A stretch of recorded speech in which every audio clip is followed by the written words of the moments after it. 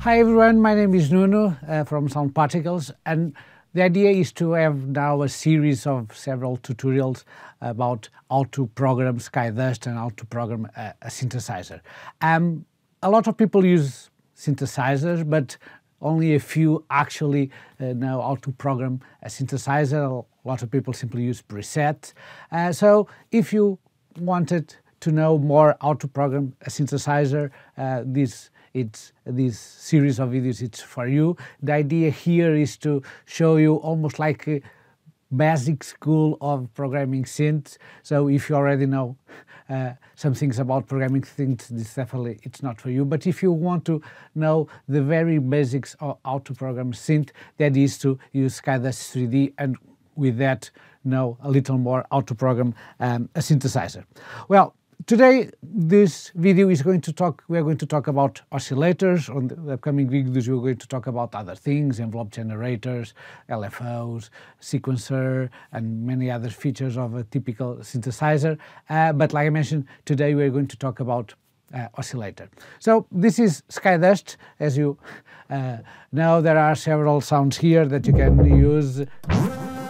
So what we're going to do is we're going to select this special red one that says init basic sine. So this is a, very basic template, only uses one oscillator. Uh, so we're going to select this. Um, if you want, you can come here and simply select all the templates that have basic templates created over here. But once again, this basic one. So what we have here? Well, we're going to talk about oscillators. Oscillators, it's uh, the, the first element of a synthesizer. So the synthesizer, we want to create audio. Um, so what we do is we have one, two, three, how many oscillators we want. And then for each note, this amount of oscillators will create the source material that then is changed with filters and other things like FMs and other uh, approaches to create the sound that we are looking for. Currently, SkyDust works with 8 oscillators per note, which means that in each note you can use up to 8 oscillators. So if you have two notes, it's 16 oscillators and so on. In here, you have these oscillators. As you can see, only oscillator 1 is actually uh, uh, powered on. So you have this uh, oscillator 1 with a very sine waves, nothing fancy. Um, so let's start by knowing about oscillators. So in here we have several waveforms that you can use. Um, as you there is these four basic ones, the sine wave, the square, triangle, and the saw. Uh, so pretty much we have the sine, something more or less mellow, and then we have triangle with a little more brightness, not much. Then we have the square, even with more brightness. And then we have also the saw. So that is for you to start play with it, start, start to recognize more or less this kind of sound. Then when later on you want a particular sound, you already know, okay, probably if I'm wanting a lead, probably it's a square or a soft. Uh, if I want a more mellow, probably it's a triangle or a sine. So play with it. Also, besides these four main um, waveforms. Uh, SkyDust has several uh, others like this one or this one. So there are multiple shapes here that you can use.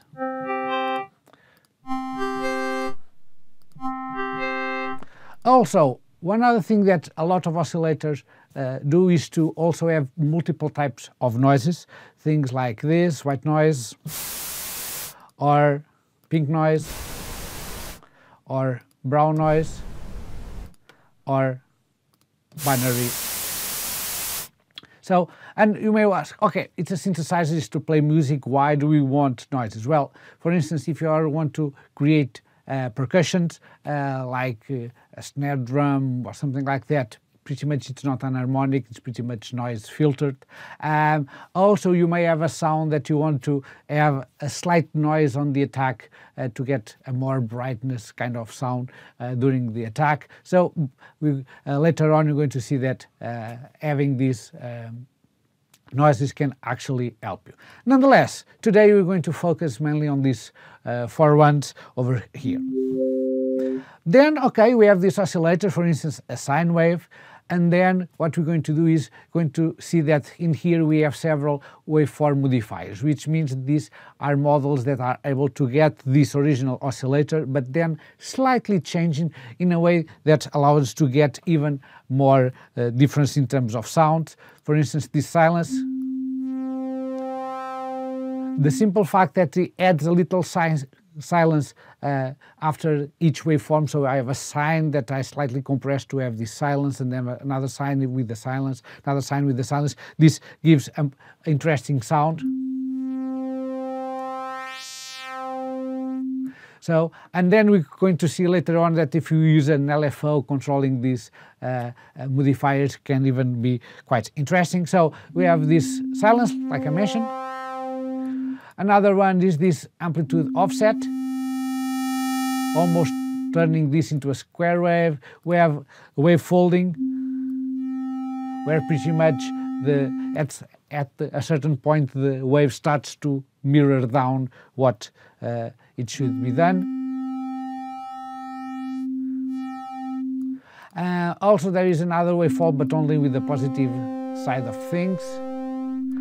Uh, also, we have clipping creating more distortion uh, and turning into a square.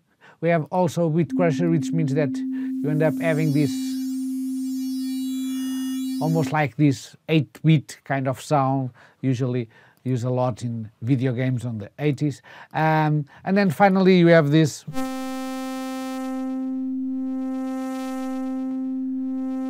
So as you can see, by using waveform modifiers, you can turn uh, pretty dull kind of wave into a much more interesting things. Of course, this applies also, I'm using sine, but we could use this with many others.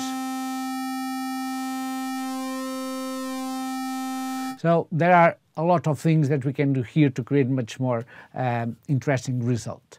Then after that, let's talk about gain. So it says pretty much I have here the gain. What I have here you can also have here on the mixer. So by doing this you can see that it's the, the same fader that is being controlled. Uh, and this is interesting, especially when we start having multiple oscillators because we want to shape the kind of sound. Imagine, for instance, that I come here and say, okay, I have a sine, but at the same time I have a square.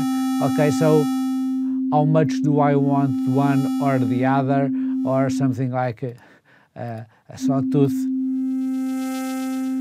So pretty much this allows you to control the balance of the, the multiple waveforms that you are using on. Then we have this pitch related knob. So pretty much imagine that I have a sound, but now I have one, one octave below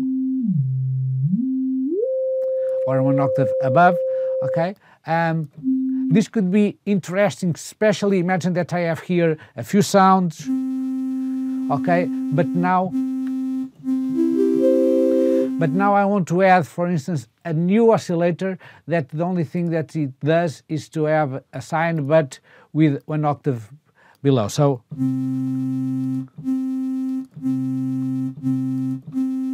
so essentially makes a more bass kind of sound. So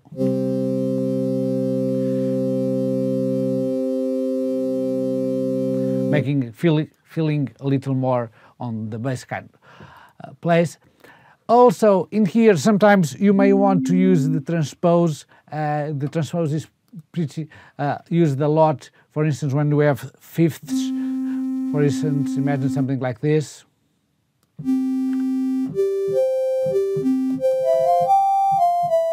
So pretty much it plays this oscillator on the same note and then plays this oscillator a few, uh, in this case a fifth above. Um, finally, we have the detune and the idea is to have, for instance, two oscillators. and then slightly detune uh, one of them. For instance, imagine when you think, think about a violin, you, you have a solo violin with a slightly harsh kind of sound, but then if you start adding more violins, you end up with a string ensemble, and this the sound is much more velvet kind of sound. And actually, what happens is that every single violin is slightly detuned regarding uh, each other's, and that kind of slightly detuned makes the sound becomes much more rich. So, for instance, imagine the following. Imagine that I have here two square waves. Okay. Um, by default, all of them would sound like this, but now if I start to detune one of them regarding the other, you, you will get this kind of chorus, almost kind of sound.